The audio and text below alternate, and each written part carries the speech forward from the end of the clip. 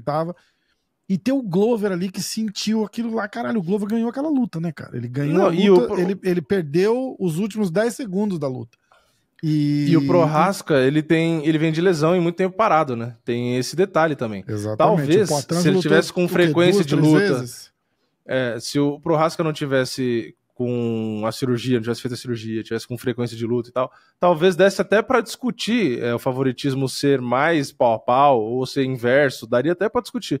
Mas é uma puta desvantagem, né? É ainda mais é. porque é um lutador da trocação, então ele tem que ter o timing ali, ele tem que estar no reflexo, né? A única coisa que eu queria é, que você falou de, dele, da luta ter dourado e tal, é lembrar que tipo, o, o psicológico do Prohaska eu acho que é um diferencial é, é. que pouco têm, né? Cara, Porque não desiste, né, cara? Ele pode Muito ser, forte. tipo assim, né, para muita gente, ah, um cara estranho, um cara meio maluco, né? Mas que... ele é um artista marcial, né, cara? Ele Exato, é um, mas ele, tipo... ele leu o livro, eu até comprei o livro que ele leu, que ele falou que leu, o livro dos Cinco Anéis lá, do Samurai e tal, eu, eu tava lendo, eu não terminei ainda.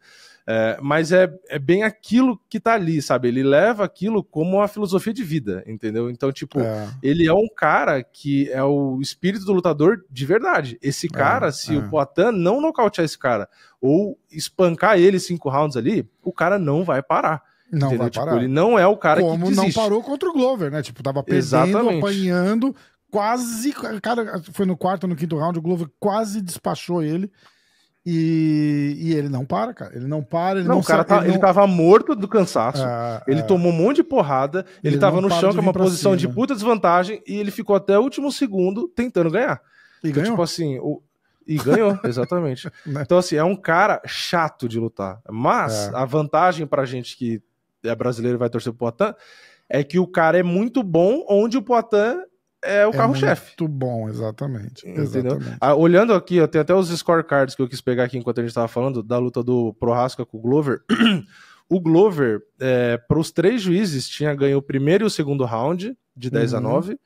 E o Prohaska, para um juiz, tinha ganho o terceiro e o quarto. Então, uhum. para esse juiz, que é o Michael Bell, estaria empatado até o último uhum. round pro Ben Cartledge, sei lá se é assim fala o nome dele, mas estava três rounds a um pro Glover, porque o Glover teria ganho o quarto. Uhum. E pro terceiro árbitro, é, terceiro juiz, na verdade, tava 38 a 37 pro Glover, porque ele deu 10 a 8 pro Prohaska no terceiro round. Mas o hum. Glover estaria ganhando a luta para dois juízes. E é... o quinto round o Glover tava ganhando um... claramente, né? É, é, o Glover tava, ganha, ele tava ganhando para dois juízes, sendo que um deles dois pontos de vantagem, e o terceiro, que era o Michael Bell, tava empatado. É, então, no assim, não round, tinha como a hora que ele, Prohaska A hora que ele puxa pra guilhotina ali, né? foi a hora que ele balançou o Prohaska no quinto round, não foi? É, eu acho que era foi. Isso, que eu não ele, lembro, eu não lembro se foi no novo. quinto. É, mas no começo do round, né? Tem um começo de round é. que ele acerta o Prohaska, o Prohaska dá uma sentida. Eu acho que o Prohaska, para falar a verdade, ele eu acho que ele deu uma subestimada na trocação do Glover. É, porque ele tomou muita porrada ali que normalmente ele não.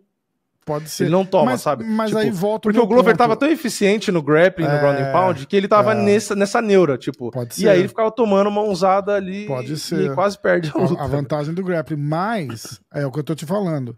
Terceiro round, quarto round, essa parte acaba toda. Ali já tá trocando porrada e aquela ali é a forma mais pura que você vai ver o lutador, porque estavam os dois uhum. ali indo pro tudo ou nada.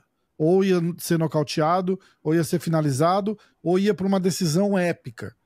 É... e ali já não tinha mais estratégia, ele, ele já tinha é, lido o Glover na, na, luta, então ele já sabia se o Glover ia tentar trazer para baixo. O Glover já não estava nem tentando mais botar a luta no chão direito. Então é, é, eu acho que isso vai ser uma arma tão. Vai ser, não, já é, né? Porque a luta é semana que vem. Vocês estão assistindo esse vídeo provavelmente na semana da luta, então a luta é esse sábado. E. E vai ser um. Eu acho que isso teve um material tão importante pro, pro Poatan poder estudar para essa luta que eu acho que, uhum. vai, eu acho que vai fazer muita diferença. Muita diferença. O, porque o, o Prohaska não tem o mesmo tipo de material para estudar do Poitin. Não tem. É. Ele vai analisar o quê? O Poitin nocauteou duas lutas no, no, no, primeiro round. Ele tem aquela luta contra o, o Blakovitz, mas que foi uma luta morna, de um Poitin até meio receoso né, de se soltar. E o nocaute contra o Desânia. Então, tipo, é. aliás, ele tem a luta dos dois lados, né? Os dois, ele, os dois lados fica meio difícil é. de, de, de, você mapear muita coisa, né? Porque o, o Poitin nocauteia geralmente com o cruzado ali e tal, mas isso todo mundo já sabe, é óbvio. Ah, o cruzado esquerdo, tem que tomar cuidado. Isso aí, né? É só você olhar o cartel do, do Poitin no kickboxing hum. que você vai ver. Cruzado esquerdo, cruzado esquerdo, cruzado esquerdo, cruzado esquerdo. Loucura, todo mundo sabe. Né, cara? Mas, e, e, e a, a, joelhada? Ele tem boas joelhadas, por exemplo, Sim. joelhada voador e tal. E, chute, e é a mesma né, coisa cara? do Prohasca. Prohasca tem uma puta cotovelada, que a gente ah. já viu. Ele tem um direto muito forte, que o Maldonado falou, o direto mais forte que eu tomei. Mas, na hora ali, é, é, muito difícil você ler o que o Prohasco vai fazer, como a gente falou, por conta da movimentação, e do próprio Potan, porque o Potan também fica com aquela guarda falsa, né, mais, mais baixa, e fica ali na distância. E tem o, o grande detalhe é como que ele vai estar tá no, no meio pesado para trocar porrada com um cara como o Prohasca, né? Porque, é. tipo assim, será que eles vão... Se eles não se nocautearem e durar cinco rounds o Potter uhum. provavelmente tá com mais queixo, porque tá, não vai estar tá desidratado, vai estar tá com, e com E eu, eu me atrevo a dizer com mais gás, porque o Prohaska tá fora então, de luta há um tempo atrás. É, um tempão. Eu, eu ritmo, acho que né? pode ser determinante o condicionamento físico, por exemplo. Entendeu? Pode, eu acho que certeza. o gás, se um não nocaute o outro, se os dois aguentar o tranco ali, aguentar as porradas, porque o Prohaska é resistente, o Poitin... Mas as mesmo... armas também, né? Como que o Prohaska chega num quarto round, por exemplo, levando quatro Sim. rounds de, de, chute na perna do Poitin? Sim, exato. Ah, ele nocauteou o Prohaska com o cruzado de esquerda. Mas não foi um golpe seco, tipo, ele fala isso, né? Ele trabalhou três rounds para conseguir fazer encaixar o cruzado de esquerda. Isso é uma coisa que ele faz que é genial, né? Ele vai ele, ele, ele, ele vai construindo devagarzinho, ele não tem pressa, Sim. ele vai construindo devagarzinho. Ele vai tirando a mobilidade do cara, que aí a movimentação que o cara fazia para conseguir desviar ou absorver melhor o golpe, o cara já não consegue fazer mais é a hora que o golpe encaixa e, se Deus quiser, Potan campeão.